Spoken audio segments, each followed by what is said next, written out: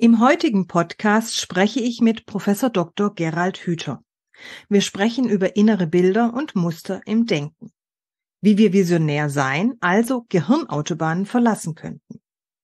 Weitere Gedankenfunken fliegen zu Wettbewerb, Fortschritt, der Konkurrenzgesellschaft, Talenten und auch Begabungen. Ein weiteres Thema ist weniger die Zeitenwende als eine Vorstellungswende, gerade auch bezüglich unseres Hierarchiedenkens. Sie erfahren, warum es den inneren Schweinehund gibt und zu was verwickelte Menschen führen, die in ihren Vorstellungen verwickelt sind, sich aus ihren Verwicklungen befreien, also entwickeln müssten. Ich kann Ihnen einen sehr kurzweiligen Hirnpolitik-Podcast versprechen. Mein Name ist Claudia Lutschewitz. Schön, dass Sie heute zuhören. Servant Politics, der Podcast für politische Reflexionsimpulse. Guten Morgen, Herr Professor Gerald Hüther. Ja, guten Morgen, Frau Lutschewitz. Freut mich sehr, äh, über Politik habe ich noch gar keinen Podcast gemacht. Jetzt schauen wir mal, ob es möglich ist, in der Politik auch die Hirnforschung irgendwo mit zu berücksichtigen. Ich gehe davon aus und ich bin jetzt mal sehr gespannt auf Ihre Hirnwindungen, was wir jetzt alles so kreieren werden und vielleicht auch antriggern werden. Ich ähm, würde einfach mit meiner normalen ersten Frage starten oder wenn Sie eine erste Frage an mich hätten, dann dürfen gerne auch Sie, sonst starte halt ich. Ja, das mit den Windungen wäre aufzugreifen. Es geht im Hirn nicht um die Windungen, sondern um die Verbindungen. Sehr gut, sehr gut. Dankeschön. Es ist wie mit den Menschen. Es geht nicht darum, wie verwunden die umeinander herumlaufen, sondern wie gut sie sich miteinander äh, verbinden können, um das, was ihnen allen gemeinsam am Herzen liegt, dann auch umsetzen zu können. Und dabei soll uns ja die Politik behilflich sein, wenn ich es mhm. richtig verstanden habe bestmöglich wäre das so, wenn die Politik da verbindet oder auch das verbindende Glied ist. Könnte doch man vielleicht auch so sehen. Dann starte ich mal gleich mit meiner ersten Frage, Professor Hüter, und zwar, was ist für Sie die Aufgabe von Politik? Das ist relativ einfach. Die Aufgabe der Politik ist, Rahmenbedingungen zu schaffen, innerhalb derer die Menschen in der Lage sind, die in ihnen angelegten Talente und Begabungen, also die Potenziale, die in dem Einzelnen angelegt sind, aber auch in Gemeinschaften angelegt sind, damit die äh, so gut wie es nur irgendwie geht zur Entfaltung kommen können. Also im Grunde genommen müsste man sagen, die Politik ist ein, ein, ein, ein Helfer für Entfaltungsprozesse von Menschen. Und da Menschen nur in Gemeinschaften sich entfalten können, wäre es eine wichtige Aufgabe der Politik, Rahmenbedingungen zu schaffen, in denen solche gemeinschaftlich stattfindenden Entfaltungsprozesse möglich werden. Haben Sie da irgendwelche Ideen, wie wir das in der Politik eher umsetzen könnten, wir Menschen? Weil da gehören ja wir alle dazu. Das ist die Gesellschaft, das sind die PolitikerInnen. Das wird erst richtig klar, weil auf so einer oberen politischen, abstrakten Ebene bleibt das Nebulösen. Da wird dann immer viel geredet und man versteht nicht, was damit gemeint ist. Und es ist ja auch nie prüfbar, ob das jetzt auch umgesetzt wird. Also ich wohne jetzt hier in einer Kleinstadt. Da gibt es einen Bürgermeister und eine, ein politisches Gremium, der Gemeinderat oder der Stadtrat. Und, und da kann ich jetzt fragen, ob diese politische Instanz alles dafür tut, dass die Bürger dieser Kleinstadt nicht nur jeder Einzelne sich entfalten kann, sondern dass die alle gemeinsam das Gefühl haben, dass sie hier in einer Stadt zu Hause sind, wo sie miteinander verbunden sind und wo sie sich alle gemeinsam um das kümmern, was ihnen am Herzen liegt. Und das wäre ja zwangsläufig immer die Zukunft und die Entfaltung dieser Stadt. Wenn die Politik das nicht macht, weil sie eher der Meinung ist, äh, sie müsse jetzt äh, Geld verdienen und wieder irgendwo ein, ein äh, Industriegebiet aufbauen, dann muss man fragen, dient das wirklich der Entfaltung dieser Stadt oder ist das etwas, was den Zusammenhalt der Bürger und damit den Zusammenhalt der Menschen in dieser Stadt untergräbt? Und dann hört man dann natürlich schnell, ohne Geld geht nichts. Und dann ist das auf der einen Seite richtig und auf der anderen Seite falsch. Mhm. Weil was nützt uns das Industriegebiet? Wir haben ja so viele Beispiele aus den vergangenen Jahrzehnten, wo die politischen Instanzen in so einer Gemeinde irgendetwas veranlasst haben und jetzt steht es da als Ruine herum. Mhm. Da hat man damals auch geglaubt, dass das unbedingt notwendig ist und dass es ohne dieses, äh, was weiß ich, Industriegebiet da draußen und ohne diese, dieses Einkaufszentrum da draußen am Stadtrand nicht geht. Und jetzt hat, und dann hat man später festgestellt, das funktioniert so nicht. Das macht uns die ganze Innenstadt kaputt. Äh, die ganze Stadtstruktur geht uns kaputt und da hat man kurzfristig, glaube ich, gedacht, man könne erstmal Gewinne machen. Und langfristig stellt sich das Ganze als ein außerordentlich teures Geschäft heraus. Also Politik sollte, das wollte ich damit nur sagen, Rahmenbedingungen schaffen, aber die sollten auch möglichst langfristig bedacht sein und nicht von vier Jahreszyklen oder wie lange die Wahlperioden sind bestimmt werden. Hm. Sie haben mal ein wunderbares Buch geschrieben, das heißt Die Macht der inneren Bilder. Und als Sie zu diesem Podcast zugesagt haben, habe ich mir gleich gedacht, wäre eigentlich wunderbar, wenn wir dieses Buch oder die Idee aus diesem Buch verbinden könnten auch mit der Politik, weil mir persönlich manchmal in den Gedanken springt oder auch in die, ins Denken kommt, der Politik oder den PolitikerInnen fehlt ein bisschen die Vision, Bilder zu kreieren für die Zukunft. Sehen Sie das ähnlich oder wie, wie sehen Sie das mit den Bildern, die vielleicht ein Politiker, eine Politikerin für sich kreativ auch im Kopf entwickeln muss, um in der Zukunft etwas gestalten zu können? Ich bin ja Hirnforscher und, äh, und wir haben ja eigentlich eine unglaubliche Entdeckung gemacht vor so 20, 30 Jahren. Ist das endlich durchgedrungen? Und diese Entdeckung heißt, das menschliche Hirn ist das ganze Leben lang umbaubar das ist nicht fertig. Und es wird auch nicht von genetischen Programmen zusammengeschraubt, sondern das ist ein ständiger Lern- und Erfahrungsprozess, in dem dann auch immer wieder strukturell im Hirn neue Netzwerke geknüpft werden und damit ist man im Grunde genommen nie fertig. Wenn das aber so ist, dann heißt es, dass wir eigentlich zeitlebens Suchende sind. Wir wissen nicht, wie es geht. Die Tiere haben noch Triebe und Instinkte, die leiten sie auf ihrer Suche, wie das geht, als Reh oder als Fuchs. Wir haben das nicht mehr. Unsere Triebe und Instinkte sind so weit zurückgedrängt, und wir wissen ja auch alle, wir können uns auch über diese Triebe und Instinkte hinwegsetzen. Wir können Hunger haben und trotzdem nichts essen. Oder, oder wir können, wir können von einem Dach runterspringen, von einem Hochhaus runterspringen oder uns unter den Zug werfen, weil uns unsere Liebste verlassen hat. Und das, ist, das heißt, was uns äh, lenkt in unserem gesamten Handeln, also man könnte fast sagen im Denken, Fühlen und Handeln, sind Vorstellungen. Vorstellung. Also ich habe die Vorstellung, dass ich ohne diese Frau nicht mehr leben kann. Ich habe die Vorstellung, dass immer alles ordentlich aufgeräumt sein muss. Ich habe die Vorstellung, dass ich nur die Anerkennung anderer Menschen finde, wenn ich mich richtig anstrenge.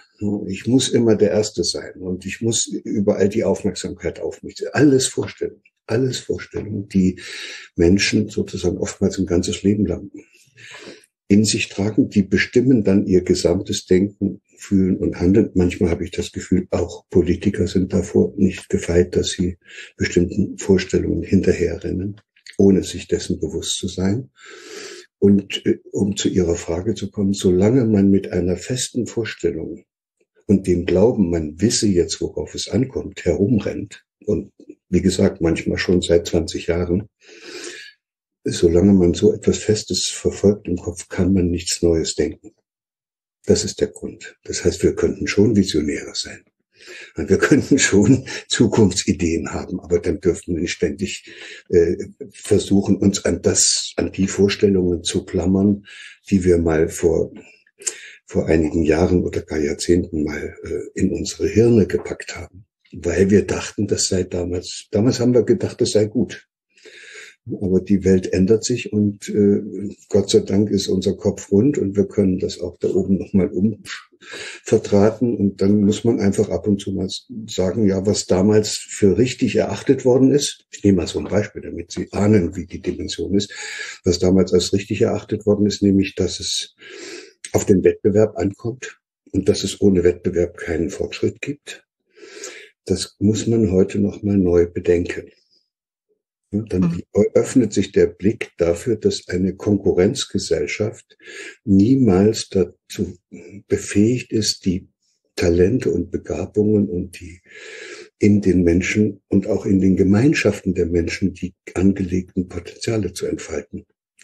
Wettbewerb ist etwas für Spezialisten. Wettbewerb bringt, ja, ich, wenn ich es übertreibe, Fachidioten und Leistungssportler hervor, aber keine umfassend gebildeten, für dieses Leben auf diesem Planeten sich verantwortlich fühlende, umsichtige, liebevolle und was weiß ich noch für Menschen, die wir eigentlich für die Gestaltung unseres Lebens im 21. Jahrhundert brauchen könnten und sei es auch nur um die schlimmsten Folgen dieser Wettbewerbsgesellschaft, die da so viel Schaden angerichtet hat, wieder beiseite räumen zu können. Also wenn ich jetzt als Politiker diese, dieses innere Bild in mir herumtrage, dass ohne Wettbewerb nichts geht, und das haben ja viele immer noch, dann kann ich aus der Nummer auch nicht raus. Dann ist alles, was ich denke und was ich tue, von dem Gedanken getragen, ob das denn jetzt auch den vernünftigen Wettbewerb anheizt, damit dann Fortschritt entstehen kann. Das heißt, was würden Sie sich für die Politik der Zukunft wünschen? Es ist schwierig, über die Politik zu reden, weil es sind ja Politikerinnen und Politiker. Also es sind Menschen. Und was ich mir wünschte, ist, dass in der Politik äh, Menschen ein Betätigungsfeld suchen, die mit sich selbst erstmal klargekommen sind. Also äh, jemand, der, der nur im Außen orientiert ist und kein gutes Gefühl mehr für sich selbst, für seine wahrhaftigen, lebendigen Bedürfnisse hat und der zum Teil dann auch bereit ist, diese ganzen Termine wahrzunehmen und seinen eigenen Körper und die aus dem eigenen Körper kommenden Signale zu unterdrücken, der dann sogar bereit ist, unter Umständen seine Partnerschaft in Frage zu stellen und die Beziehung zu seinen Kindern zu opfern, der sollte lieber aufhören mit dem Geschäft, weil der, der, der ist ein unglücklicher Mensch. Und, und ich nenne das immer gerne verwickelte Menschen sind das. Und wenn einer sich auf diese Weise so verwickelt hat in seiner eigenen Vorstellung, dann ist es leider so, dass der immer nur auch andere weiter verwickeln kann. Das ist dann jetzt ein schöner, äh, schönes Wortspiel. Wenn man so verwickelt ist, müsste man sich erstmal aus seinen Verwicklungen befreien, also entwickeln. Also, liebe Politiker, entwickelt euch. Sucht euch einen Entwicklungshelfer. Und wenn ich dann als Hirnforscher immer manchmal gefragt werde, was kann denn einem erwachsenen Menschen helfen, dass der sich aus seinen Verwicklungen wieder befreit, dann ist die Antwort ja relativ einfach. Das kann nur jemand machen, der selber noch nicht so verwickelt ist. Und wer ist noch nicht so sehr verwickelt? Meine kleine Enkeltochter mit vier. Kinder. Mhm. Ja, die Kinder sind die besten Entwicklungshelfer, weil, die, weil wir die noch nicht durch unsere Mühle gedreht haben. Die haben wir noch nicht erzogen. Denen haben wir noch nicht diese Vorstellungen ins Hirn gepflanzt. Ist auch falsch gesagt. Denen haben, die haben wir noch nicht in Situationen gebracht, wo sie es als vorteilhaft betrachten konnten, sich diese Vorstellungen anzueignen, mit denen wir auch unser Leben gemeistert haben so, so eignet sich jedes Kind zwangsläufig im Laufe dieses problembeladenen Prozesses des Hineinwachsens in die Gesellschaft äh, Vorstellungen von Erwachsenen an. Manchmal sind das nicht die Vorstellungen der Eltern, sondern von etwas Älteren gleich äh, aus der Peer Group. So. Oder es ist der Onkel oder die Tante oder der Opa. Aber auf alle Fälle suchen die Kinder nach Lösungen und die Lösungen bieten wir Erwachsene ihnen an und die Lösungen, die wir ihnen anbieten, sind nicht immer die optimalen. Das sind die, die wir gefunden haben. Die müssen nicht für die Kinder richtig sein. Wenn heute Eltern glauben, ohne Druck kann man nichts lernen, äh, dann ist das eine Lösung, die im vorigen Jahrhundert, als die noch in der Schule waren, auch schon nicht gegolten hat, aber die immerhin im folgenden Jahrhundert dazu geführt hat, dass Menschen durch diesen Druck sehr gut äh, sich haben abrichten lassen. Die haben dann eben mit Druck gelernt und die Freude am Lernen äh, hatten sie nie. Und deshalb haben sie auch nie mit Freude gearbeitet und deshalb muss man sie dann da heute in diese schwierige Situation bringen, dass dass man sagt, hey, eure Kinder würden von alleine lernen, wenn ihr sie, ja, wenn ihr selber Freude am Lernen hättet. Aber ihr habt ja keine Freude am Lernen, also könnt das ja auch nicht auf die Kinder übertragen. Die können eure schöne Lösung nicht übernehmen, weil ihr sie selber noch gar nicht gefunden habt. Ja, und wenn ein Politiker dann mit solchen Vorstellungen selbst auch noch äh, sozusagen infiziert ist und so verwickelt herumläuft, dann wird er diesen Quark dann auch an diese Verwicklung immer an seine anderen weitergeben. Und da fängt es an, gefährlich zu werden. Wenn mein Nachbar so verwickelt ist, ist nicht so schlimm. Ne? Der hat nur seine Frau und noch ein paar Verwandte und mich als Nachbarn. Aber ein Politiker, wenn der verwickelt ist, wie viele Leute kann denn der verwickeln? Indem der seine sonderbaren Vorstellungen in die Welt hinaus posaunt. Die Medien verbreiten das dann auch noch. Das, und das sieht man ja, wie schnell das dann auch geht. Wir brauchen ja nur einmal die Nachrichten anzustellen und dann merkt man, wie viele verwickelte Vorstellungen da von Menschen von sich gegeben werden, die offenbar mit sich selber nicht richtig klarkommen. In Ihren Ausführungen kam mir gerade ein Bild in den Kopf, und zwar das Lied von Herbert Grönemeyer, Kinder an die Macht. Ja, das, wobei, das geht so nicht. Es ist ein gutes, wenn es natürlich ein schönes Bild findet man erstmal ganz nett. Aber äh, das nützt nichts, die Kinder an die Macht zu stellen, weil die ja noch gar nicht die Kompetenzen haben. Das heißt, bevor man an der Macht ist, muss man Kompetenzen sich erwerben. Und, äh, und das, was ich meine, ist, dass man ja sich im Leben zurechtzufinden versucht, immer wieder darauf achtet, dass man sich nicht verwickelt, sich nicht von seinen eigenen lebendigen Bedürfnissen abtrennt, dass man bei sich bleibt und trotzdem alles, was diese Welt an Überraschungen bietet, in sich aufnehmen kann und dann auch äh, lernt, ganz viele Probleme zu lösen, so dass man diese äh, Kompetenzen erwirbt, die man dann braucht, um ein guter Politiker zu sein und der wäre man aber nur dann, wenn man tatsächlich in seinem Inneren diese unbändige Freude am Gestalten, am äh, mit anderen zusammen sein und so in dieser Weise spüren würde, auch diese ganze Kreativität, die Freude am Tanzen, am Singen, am was weiß ich was, so spüren würde, wie man das damals gespürt hat, als man drei, vier, fünf war. Erwachsen schon, bitte, ja. Ich möchte nicht lauter Kinder haben an der Regierung. Aber ich möchte auch nicht Menschen haben, die sich so verwickelt haben, dass die eigentlich kaum noch lebendig sind und mir vorkommen wie Sprechautomaten, die man irgendwo programmiert hat. Man könnte auch so sagen, Menschen, die sich die kindliche Neugierde und Wissbegierde trotz widriger Umstände, mhm. trotz der ständigen Versuche, ihnen das in der Schule auszutreiben, haben sie es ja. geschafft, ja. Es gibt immer ein paar, die da durchkommen, ja. Mhm. mhm. Herr Professor Hüter, ich bringe im Podcast ganz gern die Frage, manchmal nenne ich sie Glaskugelfrage, manchmal nenne ich sie Kanzlerfrage. Bei Ihnen würde ich sie jetzt einfach wirklich mal gerne Glaskugelfrage nennen, weil ich jetzt vielleicht mal darauf hoffe, dass Sie als Hirnforscher vielleicht mir jetzt ein paar Antworten geben dazu. Stellen Sie sich mal vor, Professor Hüter, Sie wären jetzt Bundeskanzler geworden. Und sie hätten ein Team um sich herum, das sehr offen ist, sehr neugierig ist, sehr kreativ ist, vielleicht auch durch die Schule nicht so arg manipuliert wurde, sondern gelernt hat, seine Potenziale bewusst auch zu formen, zu fördern.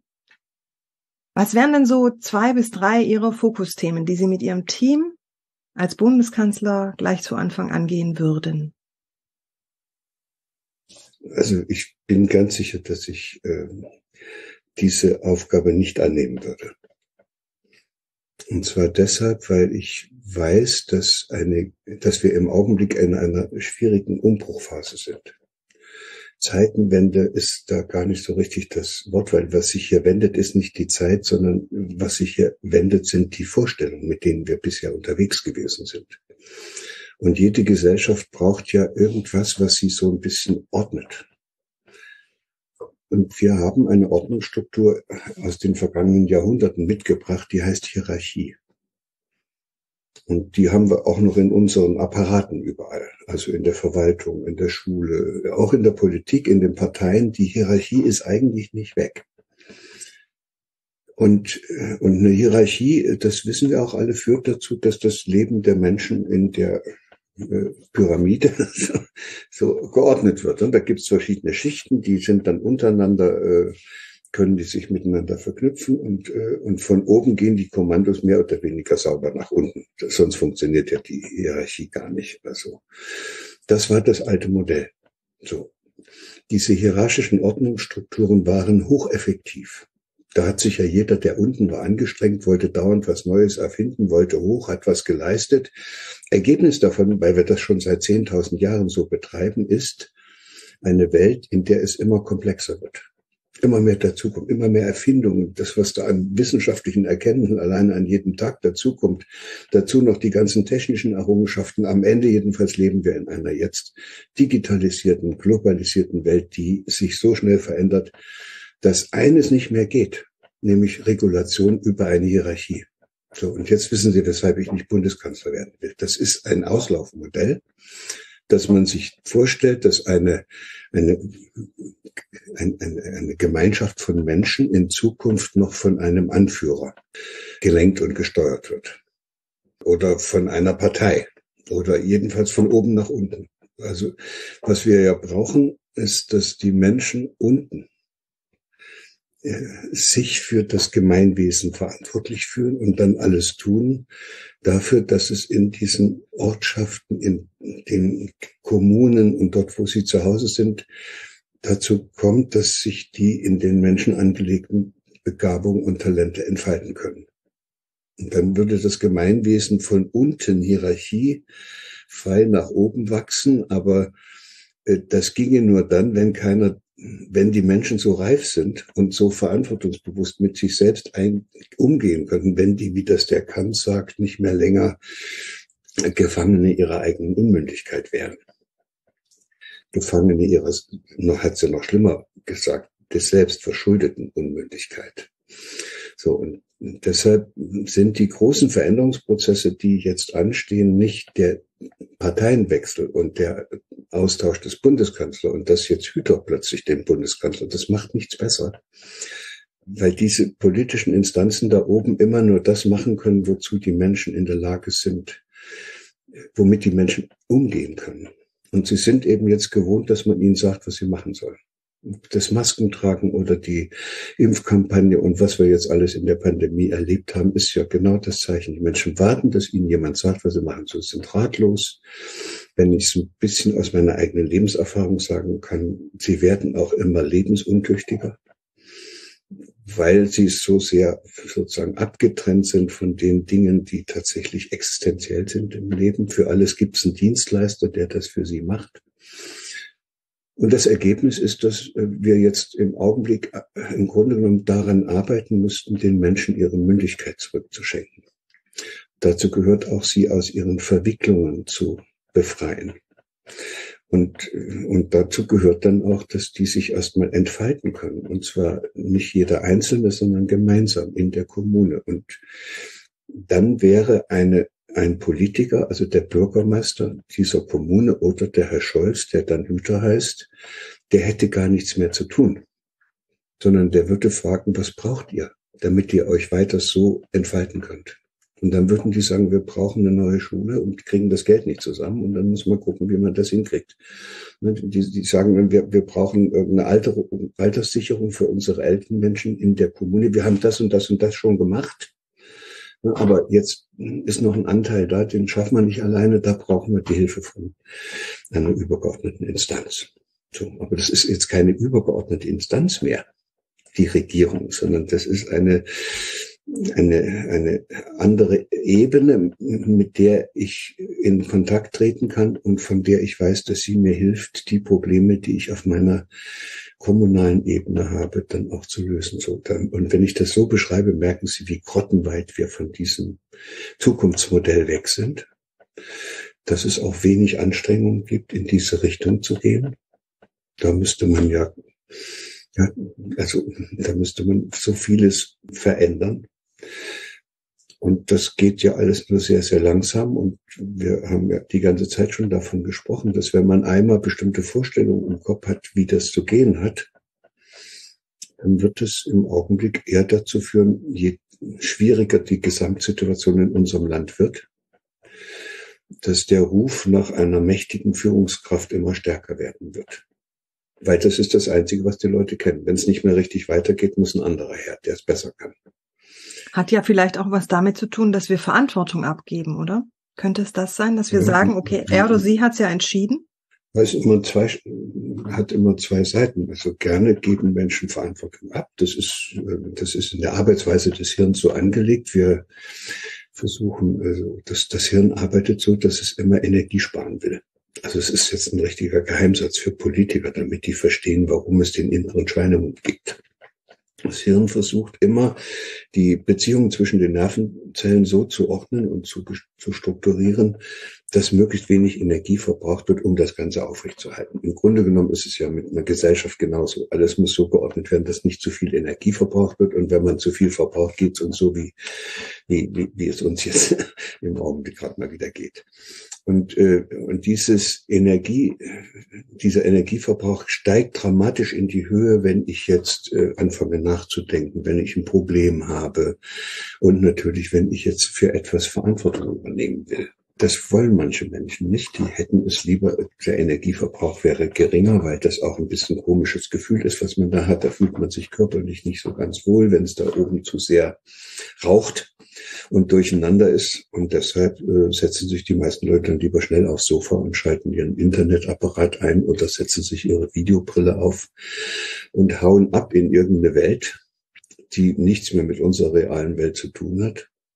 Auch das Fernsehen bedient dieses, äh, nennen wir es mal, Energiesparbedürfnis in einer prächtigen Weise. Die ganze Unterhaltungsindustrie ist zu nichts anderem da als Menschen. Das Bedürfnis von Menschen nach Bequemlichkeit, und Amüsement und so und Ablenkung, das Bedürfnis zu stellen. Und äh, so werden wir natürlich nicht weiterkommen. Das ist, dann amüsieren wir uns zu Tode. Im Augenblick ist es ein bisschen sehr eher so, dass wir Angst haben und dass die ganze Gesellschaft auch anfängt zu merken, dass das mit dem Amüsement und der Freizeitbeschäftigung auch nicht so weitergehen kann. Und deshalb kriegen sie jetzt auch zunehmend Angst. Dann müssen sie sich wiederum informieren und müssen ständig gucken, was es schon wieder für neue Meldungen gibt. Und deshalb habe ich ja mit einem journalistischen Kollegen kürzlich so ein Buch geschrieben. Das heißt, wir informieren uns zu Tode. Das kann man auch fertig bringen. Man kann so viel Zeug in die Welt rufen und man kann so viele Informationen äh, durch den Äther schicken und durch die Welt schicken und in seinem Bekanntenkreis verteilen, bis am Ende keiner mehr weiß, was eigentlich wichtig und bedeutsam ist und was alles in den Müll kann. Und ich fürchte, 90 Prozent von dem, was uns hier alles zugemutet wird als Informationsflut, kann in den Müll.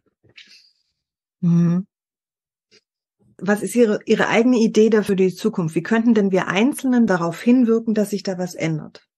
Wir müssen aufpassen, dass die da oben nicht so viel Schaden anrichten und müssen vor Ort versuchen, es so gut wie möglich zu machen. Also dort, wo wir es wirklich beeinflussen können. Mhm. Also im kleinen Kreis praktisch, in der Kommune. Dass die Zukunft äh, nicht durch übergeordnete Instanzen bestimmt wird, sondern eben dort, wo die Menschen konkret ihr Zusammenleben gestalten. Das wären die Kommunen, ja. Ich, also mhm. mein Zukunftsbild heißt nicht, dass wir in 20, 30 Jahren alle mit Videobrillen zu Hause rumsitzen und uns äh, da äh, alles Mögliche vorgaukeln lassen, sondern mein Zukunftsbild heißt, in 20, 30 Jahren werden die Menschen hier in der Ortschaft, in der ich lebe, wieder unter dem Maibaum am 1. Mai gemeinsam tanzen. Das ist ein schönes Bild. Und damit möchte ich gerne auch den Podcast beenden. Ich danke Ihnen ganz herzlich für Ihre Zeit, Herr Professor Hüter, und sage dann einfach mal bis bald. Ihnen auch vielen Dank und auf Wiedersehen.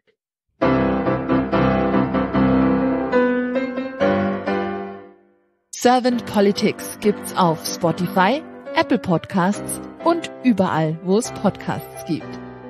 Abonniert uns gerne und hinterlasst uns eine Bewertung. Servant Politics, der Podcast für politische Reflexionsimpulse.